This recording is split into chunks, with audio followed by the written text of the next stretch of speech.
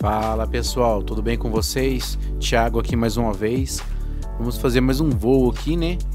E já a terceira, quase a terceira casa que eu estou fazendo a filmagem no mesmo bairro. É, os clientes aqui estão procurando muito placa solar, então tá ficando legal de fazer o trabalho aqui. Na sexta-feira santa eu fiz a filmagem na fazenda, né? Em 4K lá com Robsonzinho, ficou muito top. Semana passada agora eu fiz uma filmagem de um cliente no canto da fazenda praticamente colado, né? E esse aqui também é muito pertinho, tá?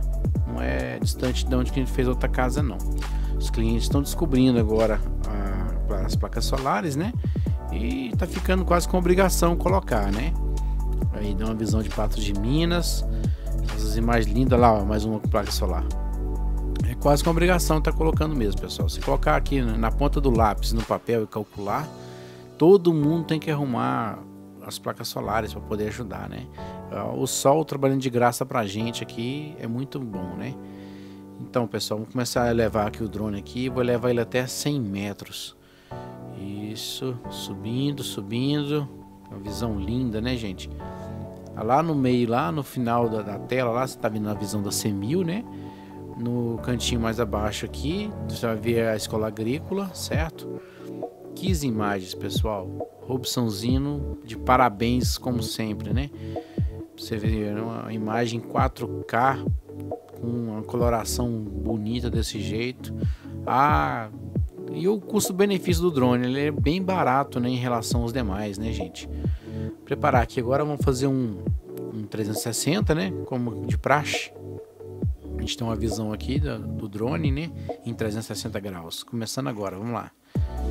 Vamos girando aos pouquinhos, bem suave. Olha aí, tem uma extensão da cidade, né? Pessoal, muito bonito, viu? Eu queria estar tá lá em cima com o drone, né? Mas infelizmente eu tenho só a visão dele. Mas a visão dele para mim tá suficiente. Tá muito legal. Olha lá o PTC2, ó. A piscina do PTC2. Lá o campo de futebol. Começando a entrar agora, ó. Tá vendo? Que imagem, gente. É muito top, né? Prato de Minas é lindo. Esse céuzão bonito azul.